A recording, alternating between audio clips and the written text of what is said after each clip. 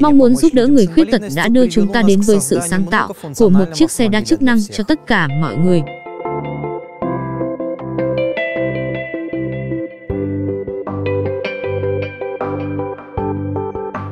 Xe của chúng tôi giống như một chiếc xe thành phố nhỏ gọn.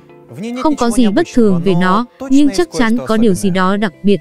Thực dụng một tính năng quan trọng là thang máy dốc tự động. Nó có một thiết kế mạnh mẽ và biên độ an toàn cao, có thể nâng và hạ tải nặng tới 350 kg. Thang máy này có thể được sử dụng để tải thuận tiện của hàng hóa khác nhau và để lên xe và gỡ lỗi cho tài xế và hành khách trên xe lăn.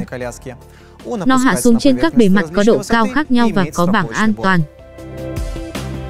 Có thể truy cập Chúng tôi đã trang bị cho xe những cánh cửa phía sau, một tính năng thú vị khác là ghế xoay. Cùng với các cánh cửa, họ đơn giản hóa việc lên máy bay và gỡ lỗi cho tài xế và hành khách. Điều này đặc biệt thuận tiện cho những người bị rối loạn khác nhau của hệ thống cơ xương.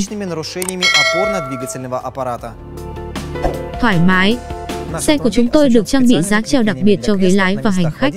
Chúng được thiết kế cho người dùng xe lăn. Nhờ các cơ chế khóa và nâng dốc, người lái xe có thể là một người ngồi xe lăn. Ai có thể lên xe và rời khỏi nó mà không cần sự trợ giúp nào. Cả hai chỗ ngồi có thể được trang bị ghế xoay. Do đó, bất cứ ai có bằng lái xe đều có thể lái xe và sử dụng xe một cách thuận tiện.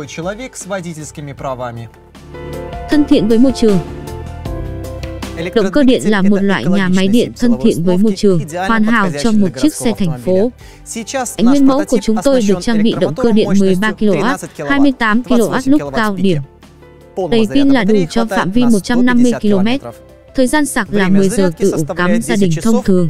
Khi sạc nhanh chỉ cần 2 giờ để sạc pin lên tới 80% và 4 giờ nữa để sạc đầy pin. Đa năng Xe của chúng tôi mang đến sự độc lập và cơ động cho người khuyết tật mà không mất đi những phẩm chất vốn có trong một chiếc xe thành phố thông thường. Không có gì bất thường, vài thứ đặc biệt.